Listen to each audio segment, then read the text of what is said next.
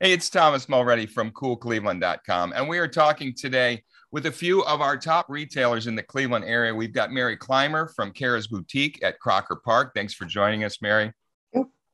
We've got Chad Schreibman of Alson Jewelers on Chagrin Boulevard in Woodmere. Welcome, Chad. Thank you, Thomas. And we've got Gordon Geiger of Geigers in Lakewood and Chagrin Falls. Thanks for joining us, Gordon. Thanks, Thomas. Appreciate it. Today, we're talking about Cleveland Shops, which is this new group to get together and collaborate and do some joint marketing efforts, some branding opportunities, seasonal promotions. And I want to talk about that. I want to talk about shopping local, but I think first we kind of have to address since we've got, you know, the cream of the crop here of local retail. Let's talk about the tiger in the room that everyone's always thinking about, which is the pandemic. And I want to go around and just see how each of you are sort of dealing with this thing. And Gordon, you guys have been around since 1932. Congratulations. You don't look that old, by the way. well, it's it's funny. Schreibman's a year older than us. So I think he Schreiber's doesn't a- look any older than me either. But he does. right. But um, no, we're we uh, like I'm, I'm sure everybody we are dealing with it uh, day to day, uh, hour to hour. Uh, we we are masking. All of our employees are masking. We're still doing the sanitary, you know, the cleanup and stuff uh, after somebody puts something on or or uh, uses a fitting room or whatever. So we are doing everything we can. Fortunately, uh, we we think we have a very safe, uh, inviting um, environment to, to shop, and uh, we've been that way since we were allowed to reopen after being closed for seven weeks back in 20. So, um, Right. all, all good in that regard. And Mary, at Cara's Boutique and Gifts, you have curated, which I love how you do this uh, accessories, clothing, jewelry, apparel, handbags, gifts. How has it affected you? Because you've got a very personal touch with people. I'm sure that's key for your business. Um, it, it affected it early, but now people are back out. I think they're comfortable shopping. We, we are, are masking too, our, you know, employees right now. And, you know, we're all vaccinated, so that's a good thing. And I think what's really important is we, our store is not, it's large enough that there is enough social distance. You, you don't have, you're not on top of each other. And so you can feel comfortable to shop. And um, really, now people are really, will they want to come out. They want to they want to get out of their houses they want to come shop and they know that you know we're ready to go and you know same thing with gordon still doing the same type of protocol and all that Right. Yeah, the protocols are important. And Chad at Alson Jewelers, as Gordon mentioned, since 1931. So that's a long By a time. year. Got him by a year. Yeah, you got him beat. That's great. Watches, jewelry, diamond engagement rings. This is a very personal business, right? This is very one on one, and people need to look at the merchandise and really see what they're getting. How has it impacted you guys, and how have you uh, evolved through the through this pandemic? For a long period of time, um, we were just really marrying the client. So if the client came in with a mask, we would mask up ourselves. Um, if the client didn't have a mask, then then we sort of let that go by. But we changed that right before Christmas time. We went to mandatory masks for all the staff and and our clients. Um, it has not been an issue at all. The clients are very respectful respectful of, of what's going on, and it really hasn't been an issue. We have not had um, clients uh, say, "Hey, I'm not coming in if I don't have to wear a mask," and so on. So it really has not been an issue. Um, we are close and personal. You know, we've got that three feet of, of showcase counter from uh, the, the dividing between, but but we take it seriously, and um, you know, we're cleaning things obviously on a daily basis, and anytime anybody touches anything, so it hasn't been an issue at all for us. Right. With that respect. I think that's key. And when you talk to people, which we do a lot, uh, the, the music venues, um, the retail places, I'm asking them, is it a problem? Are people giving, and they're like, no, people are very cooperative around here. They, they really want to do the best thing. So it hasn't become such an issue. Right now, this time of year, it's winter. Uh, we've got, you know, it's it's past the holiday season, but now we're kind of gearing up with Valentine's Day. I know, Mary, for example, this has got to be big for you with gifts. You've got some great brands Brighton, Ellis Stein, Liverpool, which is one of my favorites, uh, Pura Vida, Tribal, Nordic Beach. How, how is this? What do you got coming up special here for, for this Valentine's Day season? Well, we're having a lot of different events coming up. Uh, next week, we are having a, um, a locket event with Brighton because Brighton does great lockets. And that's a perfect Valentine's Day gift. We can customize the print, put it in there, the picture. And then we have a Galentine's Day coming up on uh, February 10th for just like a girlfriend party. So we're going to be starting to promote that too. And then we also do a lot of, you know, last minute gifts with men. Men always seem to wait to the last minute, which is normal. But we have lots of great jewelry, um, lots of hearts, lots of um, perfect things for Valentine's Day. So that's great. That's, that's, not to wait to the last minute, but that right. seems. But when they do wait to the last minute, it's always easy to pop out to a local store. This is the mm-hmm. other thing that people don't realize. You don't have to wait for the shipping. We're here. We're ready to help you. We've got stock.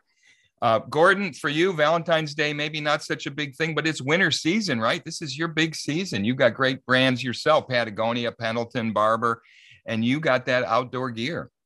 Well, and all our stuff is is designed to keep you warm and and uh, good from the elements. And if you're warm and you're uh, cuddly and and snug, snuggly and all that, um, that's our Valentine's gift uh, idea for you guys. Uh, the other thing, is, and we partnered up with Sweet Designs. I don't know if you can see that or not. Oh yeah, they dark yeah. chocolate uh, Geigers. Uh, so anybody that sees this, say they saw it and uh, we'll give you one of these the week before Valentine's. Oh man, I'm coming in right away. Sweet Designs is one of my favorites. Their dark chocolate is awesome. Another local That's, company. Yep. They're great. They are fabulous. And Chad, you've got some great major names: uh, Cartier, Rolex, David Yurman, Art Carved. This has to be huge for you. Engagement rings. Is this the biggest day of the year for engagement? I, I don't know it is a big time. I mean, it's it's getting people out and and getting them to think about love and happy occasions and and go back to uh, Gordon's cuddly kind of comment. But it is a romantic uh, time, and we have a lot of different things and a lot of different price points. So when someone comes in and they're in their 20s or 30s, and it's a um, for a boyfriend, girlfriend, vice versa, or um, a newly married couple, you know, things in the three to five hundred dollar range, and certainly for people that are in their 40s 50s and 60s that want to market with a nice something special you know we have things obviously for 5 10 20000 and up. But but people do mark their occasion for valentine's day. It's not just a a, a corny thing that some people may think but but people do come out of the cupboards and want to do something special it is a special time of year. And you know what? In in in all of what we're going through it's so important for us to honor and mark these occasions in some way even if we can't have the big groups together. You know and one way to do it is with gifts because you can still do gifts even if you can't get a big group together. Let's talk about cleveland shops because this is a really I, I want to say it's a radical concept because you don't see it in other cities where a bunch of retailers are all going to get together and try to market together and co-promote and work together. And Gordy, it's great that you're you're already working with Sweet Designs. You've got this cool chocolate promotion. Talk about what other opportunities you see in working with groups because I know you you've been that way. You're a stalwart of the local community for so long.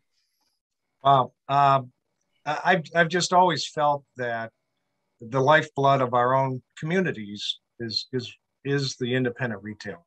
Um, you know, what would the landscape be look like on Detroit Avenue or, or even Crocker Park or Woodmere or Chagrin Falls if if there weren't the unique independent uh, boutiques and shops that uh, support the community and and uh, you know support us. So uh, pulling them all together has been a bit of a challenge, and, and getting the word out more now is is going to be great. Um, it, it's it's like minds, thinking alike, promoting independence, uh, promoting the importance of independent uh, shopping, and so um, so we're thrilled about it. And so far, so far, so good. We we need to grow a little bit though. Right, that's what this is all about. Get the word out. And Mary, I, I love that you curate your collection. You have hand-picked selection. This is something that literally cannot be done online. I don't know that people feel like anything is available online but not the kind of service, the customer service that you guys do. How do you see Cleveland Shops helping you sort of get the word out, work together with other local retailers?